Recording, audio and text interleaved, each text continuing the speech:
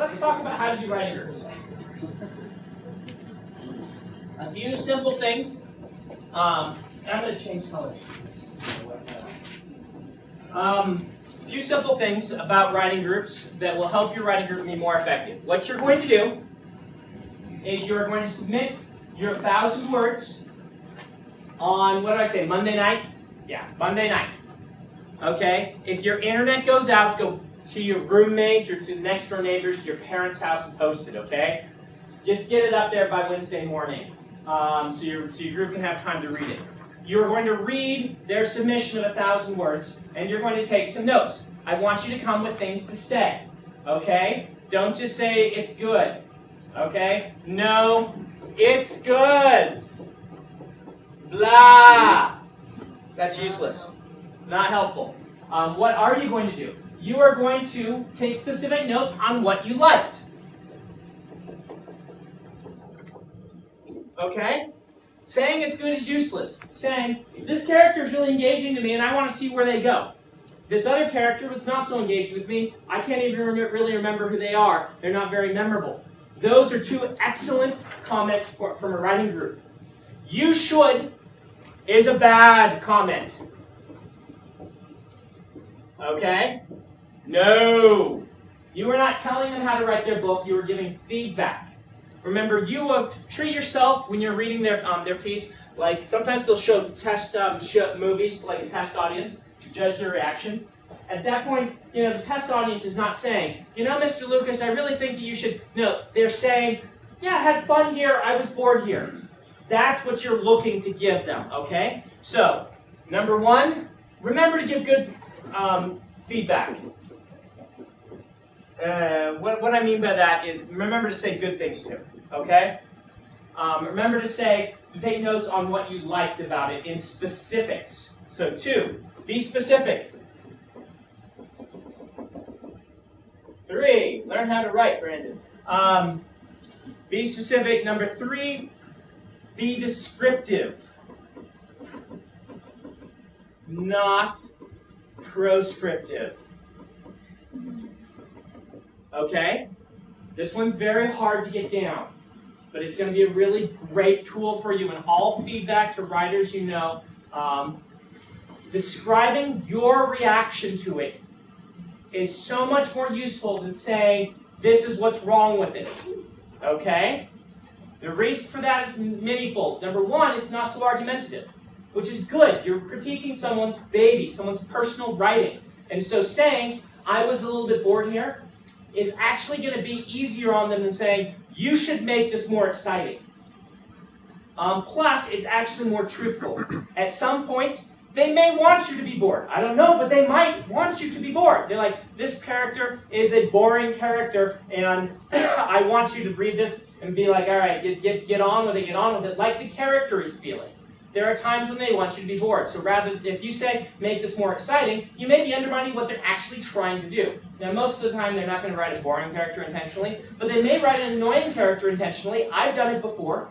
Okay? Um, and they may want you to be a little confused about something because they're going to pow you with an explanation in the next scene, and it's all going to come together. So, telling them I'm confused here is actually more useful because they're like, okay, let's see if the next scene clears that up, or if they're still confused, because sometimes a little bit of confusion is good. Sometimes a little bit, you know, uh, uh, sometimes anticipation is good. Gee, I really want to have the answer to this.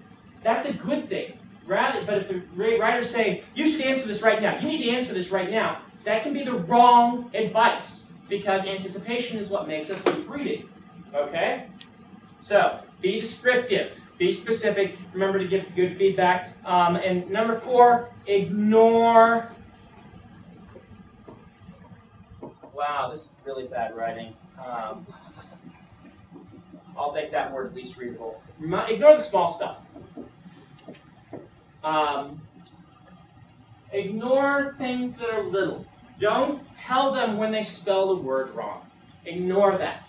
By sitting on your writing group and your your first leading comment is, you know, I think you're, I think you're using the word and too much. I'm going to throw something at you, okay? Maybe at the end of the session, that's something you can mention, but you need to lead with plot, characters, and setting, okay? Don't talk about the prose unless it's a big issue. If they're using the passive voice a ton, that's something you can bring up.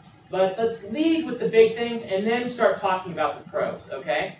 Uh, prose is important, but the, the worry is that if people start focusing too much on sentence level things, this is all going to get revised and rewritten anyway, and we want to be focusing in this level. This is alpha reads. This is early draft. Everyone's writing is going to be rough because you won't have time to revise it. And so there's going to be lots of typos. There's going to be lots of awkward sentence constructions.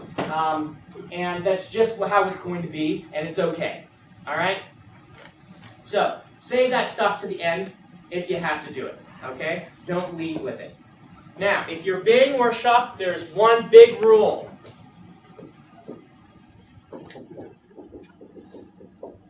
I'm going to enforce this one, and it will also make me throw things at you. So I want you to write it in big letters. No talking. If you are being workshopped, you are not allowed to speak. Let me say it again. If you are being workshopped, you cannot say a word. Every time I tell this to people, I'll go sit in their writing groups, and everyone has ignored it. This is your hard, fast rule. When it's your turn, shut up. Okay? There's really good reasons for this. Everybody who talks about workshops mentions it. Um, your job is to be the person with the clipboard standing at the back of that movie theater while people are watching and writing down, ooh, they said ah here. Ooh, they were excited here. Oh, they look a little bit bored. Your job is not to say, hey guys, this really does work. Just wait, I promise you. Or, no, no, it's really quite brilliant. If you see this thing and this thing and this thing, it's going to prove how smart I am, okay? That's what you're doing when you're talking, okay? Even if you think you aren't, that's what you're doing. Um, what it's doing is it's number one, it's biasing the reader.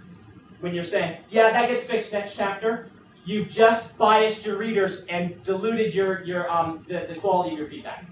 Okay? You want them next week to say, well, I found out the answer to that, and actually now all works. That's what you want to hear. Or you want them to hear, yeah, the answer came, but I was confused because, you know, it just didn't come soon enough. You want to hear those things, okay? You also don't want to put people into an argumentative mindset. You don't want to defend yourself. And not talking is the best way to avoid defending yourself.